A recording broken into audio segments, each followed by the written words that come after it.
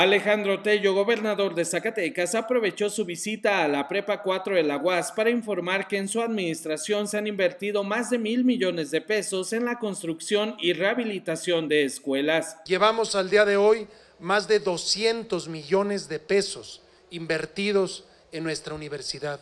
200 millones de pesos para que los jóvenes se sigan preparando. En todo el estado llevamos más de mil millones de pesos invertidos en escuelas. El mandatario estatal se dirigió a los jóvenes de la preparatoria 4 para invitarlos a conducirse por el camino del estudio y alejarse de la delincuencia. Siempre que tengo la oportunidad de estar entre un auditorio como el de ustedes, hay tantas cosas que un gobernante les quisiera decir y se los voy a tratar de decir de manera muy sencilla y a veces cruda. Y pocas gentes nos enteramos. Un gobernador obvio que todos los días está informado. En este estado hay 60 homicidios al mes.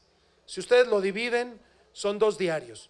Pero si ustedes lo multiplican por 12, 60 por 12 son muchos. Son más de 700 homicidios. Esos homicidios principalmente son de jóvenes. Nueve de cada diez son de jóvenes y nueve de cada diez están relacionados a la venta, consumo, transporte, siembra de estupefacientes, de drogas, para entendernos muy fácil.